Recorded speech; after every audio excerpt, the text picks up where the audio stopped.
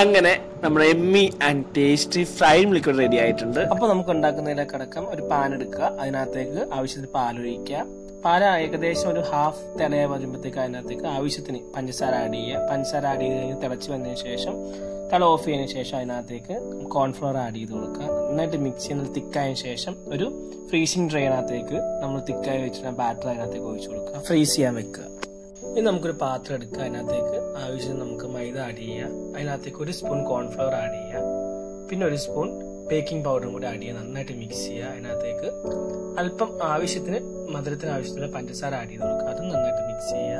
അതിനുശേഷം ഫ്രഷ് പാൽ ഒഴിച്ചു കൊടുക്കുക. നല്ല രീതിയിലൊരു നല്ല ലൂസായ രീതിയിൽ തിക്കാവാത്ത രീതിയിൽ നമുക്ക് ബാറ്ററി തയ്യാറാക്കാം. ഇപ്പൊ ഏകദേശം ഒരു മൂന്ന് മൂന്നര മണിക്കൂർ ഫ്രീസ് ചെയ്യാൻ വെച്ച് നമ്മുടെ ബാറ്ററി എടുത്തു. ഇനി അത് നമുക്കൊരു ഒരു പാത്രത്തിനകത്തേക്ക് മാറ്റി ചെറിയ അത്യാവശ്യം വലുപ്പമുള്ള സ്മോൾ സ്മോൾ പീസസ് ആക്കി നമ്മൾ കട്ട് ചെയ്തെടുക്കുക.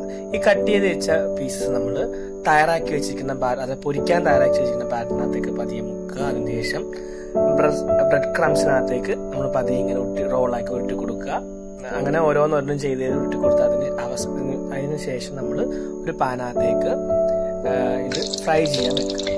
തിരിച്ച് മറിച്ച് ഇട്ട് കൊടുക്കണം. അല്ലെങ്കിൽ കരി അടി കരിഞ്ഞു പോകരുത്. അപ്പോൾ അപ്പോൾ നമ്മുടെ ഏകദേശം നമ്മുടെ ഫ്രൈഡ് മിൽക്ക് റെഡി ആയിട്ടുണ്ട്. നമുക്ക് ഒരു പാത്രത്തിനകത്തേക്ക് മാറ്റി സെർവ് ചെയ്ത് കഴിക്കാവുന്നതാണ്. എല്ലാവരും ഇതൊന്ന് ട്രൈ ചെയ്ത് നോക്കുക. ഈ ഡിഷ് ഇഷ്ടമായെങ്കിൽ വീഡിയോ ലൈക്ക് ചെയ്യുക ഷെയർ ചെയ്യുക ഒപ്പം നമ്മുടെ ചാനൽ സബ്സ്ക്രൈബ് ചെയ്യുക.